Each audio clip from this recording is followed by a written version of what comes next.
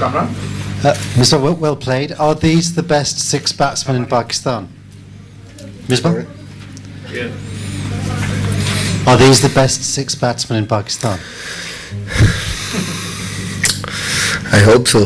When we came here, uh, obviously, uh, we thought that this is the best lot, and these guys are really performing uh, for Pakistan. Uh, Misbah, I have two questions. Uh, one, how frustrating is it for you as captain, as, a and, and as, as the senior batsman, to, to bat over there and see all the wickets falling apart, you know, the innings are falling apart time and again? Uh, it's really difficult, uh, disappointing because e- even in the mid, it was less than six and over, and that was very much like a Pakistani pitch. You you you played time and time over on these sort of pitches, so it's not a much. Uh, you can say that wicket was difficult. I think again, it's the application how our batsmen just uh, applying themselves and not getting runs.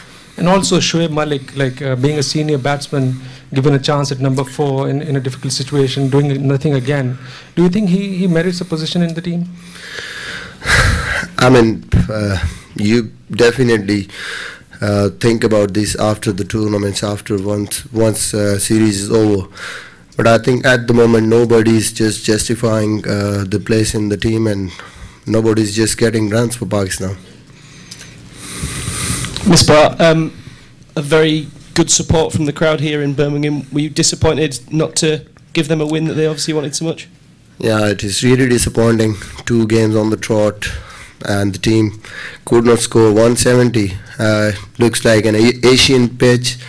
Uh, you're used to of playing on these pitches. Really disappointing. Explain from, from your time out in the middle there why it was so difficult to uh, to get the scoring rate uh, going more quickly. I think uh, they were bowling uh, well and they got momentum. You just keep on losing wickets. It's really difficult. Whenever we thought that we now uh, going to take a chance, I think we just lost uh, wicket, keep on losing wickets, and I think that that was the reason that we could not just pick the run rate up. Misbah, you changed your opening combination in South African series. Hafiz was opening with Nasir Jamshed. Here you uh, put Hafiz on the one down position. Imran Farhat was came uh, came back into the team. Do you think he has been playing uh, international cricket since 2001, Imran Farhat, and uh, he is in and out of the team? Did he justify his selection in Pakistan team as an opener? I think uh, the idea was that because uh, he he got chance in Sri Lanka, he got 50 in the last game, and then he came to South Africa. He played well in the Test match, and then when we just given him chance in that ODI, he got 93 against South Africa. So th- that was the reason that he played well, and we just keep on uh, going with that. And we were also having problems at number three, so we decided to just put Hafiz at number three. Uh, but I think uh, it's also it worked uh, in Ireland and it worked in the practice game, but it's not working at the moment. Misbah, you were chasing a relatively small total. Um, we saw some late order hitting from uh, Wahab Riaz. Was the idea of a uh, pinch hitter or promoting Kamran Akmal uh, perhaps up the order uh, thought about during the innings break? I think everything was. Uh, you can say if uh, you look at the average, everything was in control till Nasir Jamshed got out. It wasn't above six, and then suddenly Nasir got out, and then you you are under pressure when you just lose uh, one of the set batsmen. And then I think again Omar Amin got out, and then we keep on losing wickets. No, at no place we were really just uh, having a good partnership. That's the reason, and we don't uh, get any sort of momentum at the top. Even we lost three, four wickets at the top, and the run rate was less than two. So these sort of uh, situations really, I, I mean, it's really difficult when uh, your batting is just performing like that. Uh, Misbah, Omar Amin's inclusion today, was that because you were just missing an all-rounder in the sort of after Kamran Akmal, do you think he's sort of better than Asad Shafiq in the conditions? I think Asad uh, last three four innings uh, could not deliver and even he struggled against South Africa. That's why, and we we were also uh, keeping in view this that they might play uh, another left-hander. So that was also a reason to add a left-hander in the middle order. So and he played uh, uh, well against South Africa in the last game. That's why we just added him. With Miandad working with Pakistan batsmen in Abbottabad, and here you guys have had a, a specialist coach in Trent Woodhill.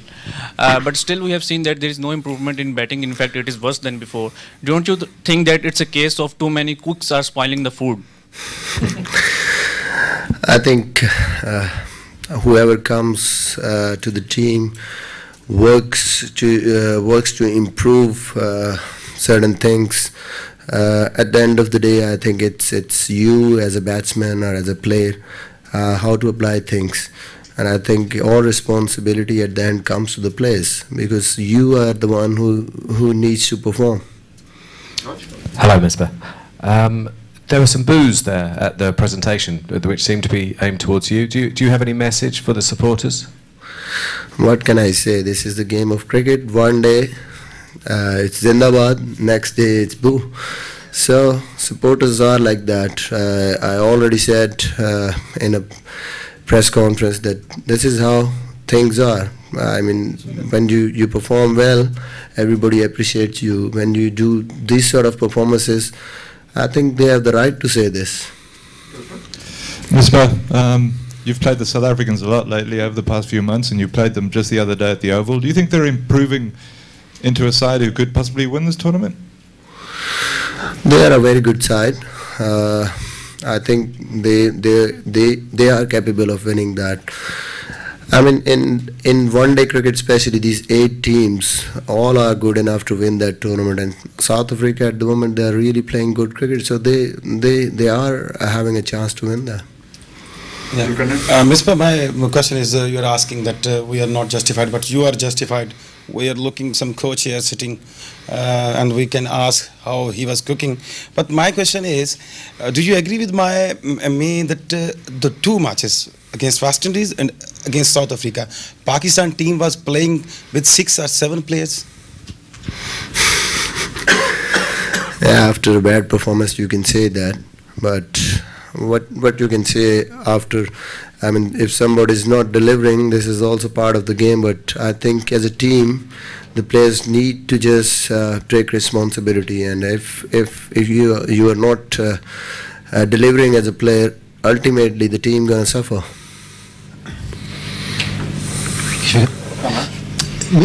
Ms. you're saying some days people don't perform, other, other, other days they do. Unfortunately, the batsmen haven't performed for many years, yet they keep being selected. How does Pakistan cricket get out of this mess with the batting? I think whenever you do performances like uh, that, people got dropped and you, you brought some other batsmen. But I think it's it's the major problem over the years for Pakistan, and we need to just uh, address this. Uh, I've already said this in South Africa that you need, if you want to really improve uh, your nursery, your batsmen, you just have to plan something about that. And one suggestion was that that you just send your players you who are lined up for Pakistan to Australia, South Africa, England to just to play first class cricket like that. Uh, because whenever Pakistan team comes to England, South Africa, Australia, they struggle uh, because of the different conditions. And this is this is one way uh, you can arrange more A uh, teams uh, tours.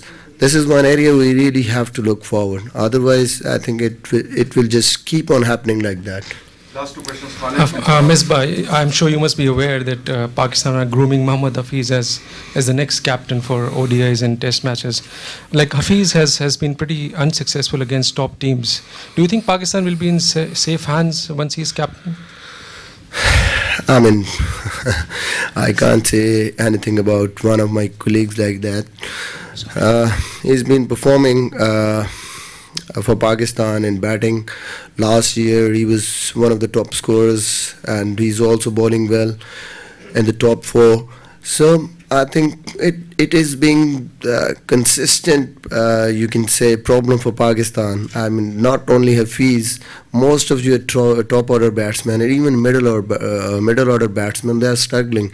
Whenever we come to South Africa, England, um, Australia, I think it, it, it is like that. And we, we have to address that on permanent basis.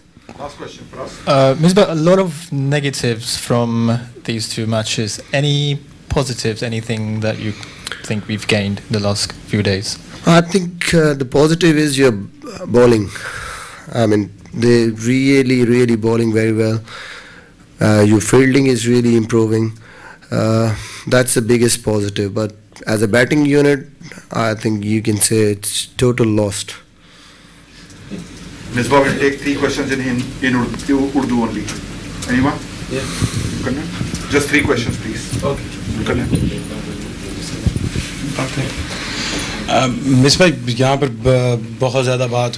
Okay. Team کی batting ناکام ہو رہی ہے۔ آپ نے کہا کہ fans کے لیے یہی ہے کہ ایک دن ہیرو ہوتے ہیں اور ایک دن زیرو ہوتے ہیں۔ لیکن یہ ایک دن نہیں تھا، یہ پورا ٹورنامنٹ تھا اور سیکوینس تھا۔ اور آج میرا خیال ہے آپ برمنگم میں نہیں کھیل رہے تھے قذافی اسٹیڈیم لاہور میں کھیل رہے تھے۔ تو کیا فینس قصور بار آپ کو لگتے ہیں اتنے تو وہ ڈیزرو کرتے ہیں کہ آپ سے امید رکھیں کہ آپ سے نہیں، آپ کی ٹیم سے امید رکھیں کہ بیٹسمین کچھ پرفارم کریں؟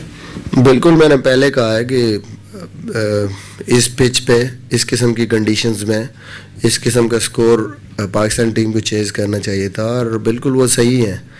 میں نے وہی کہا کہ بو بو کی جو آوازیں ہیں، وہ صحیح لگا رہے ہیں کہ جب آپ گندہ کھیلیں گے تو میرا خیال میں کوئی بھی آپ کو اپریشیٹ نہیں کرے گا اور اسپیشلی ایک میچ ہوتا ہے، لیکن ہم نے تو جس طرح کی آج کی پیچ تھی، میرے خیال میں دو سو چونتیس کوئی بڑا سکور نہیں تھا، کرنا چاہیے تھا ہمیں۔ وکٹ کیپنگ کے حوالے سے پاکستان سٹرگل کر رہا ہے۔ کامران اکمل کو آپ نے ڈراپ کیا اور دیگر لوگوں کو لائے۔ ذوالقرنین، حیدر، عدنان اکمل، محمد سلمان۔ آپ سمجھتے ہیں کہ آپ مطمئن ہیں کامران اکمل کی پرفارمنس سے، کیونکہ ان کو، ان کی کیپنگ کے بجائے ان کی بیٹنگ پر پریفر کیا جاتا ہے۔ اور جس طرح سے وہ دونوں میچز میں ناکام رہے، کیا آپ مطمئن ہیں ان کی پرفارمنس سے؟ دیکھیں، ابھی ظاہر ہے ایک کامران نہیں، کوئی بھی نہیں پرفارم کر پا رہا۔ بیٹنگ ٹوٹلی فلاپ ہے۔ اور میرے خیال میں ایک بہت بڑا کنسرن ہے ہمارے لیے۔ اس میں میرا سوال یہ ہے کہ اس ٹورنامنٹ کے دوران آپ کو یونس خان کمر دوسرا جو اکمل کا بھائی ہے دوسرا اس کی یا شاید افریدی کی کمی محسوس ہوئی ہے ڈیورنگ ٹو میچز خاص کر یونس کے بارے میں بتائیں کہ وہ سینئر پلیئر تھے انہوں نے کافی کھیلا۔ آئی تھنک یونس خان کا بھی لاسٹ ٹور یا پورا ایک سال جو ون ڈے پرفارمنس تھی وہ آؤٹ آف فارم تھے۔ بہت زیادہ پریشر تھا ان پہ رنز نہیں کر پائے۔ جتنی بھی سیریز وہ کھیلے، اس میں ان سے پرفارم نہیں ہوا۔ یہ ایک ریزن تھی جس کی وجہ سے میرے خیال میں یہ چینج کی گئی۔ ادروائز یونس خان ہمیشہ سے پاکستان کے لیے جو بھی اس کی پرفارمنسز ہیں، وہ as a main player Pakistan کے لیے بہت کچھ اس نے کیا ہوا ہے۔ لیکن ریسنٹلی کیونکہ پریشر بلڈ ہوا تھا پرفارمنس بالکل نہیں ہو رہی تھی۔ اس وجہ سے شاید یہ ڈیسیجن لیا گیا۔ عمر اکمل کا بھی میرے خیال میں یہی وجہ تھی کہ پیچھے کافی عرصے سے اس سے پرفارمنس نہیں ہو رہی تھی۔ ابھی جو وہاں پہ ٹورنامنٹ بھی ہوا ہے ٹی ٹوینٹی اور ون ڈے جو پاکستان میں، اس میں بھی اس سے بالکل رن نہیں ہوئے، جس کی وجہ سے پریفر کیا گیا عمر امین کو، جس نے کافی پرفارم کیا تھا وہاں پہ۔ تو آئی تھنک یہ ایک ریزن تھی۔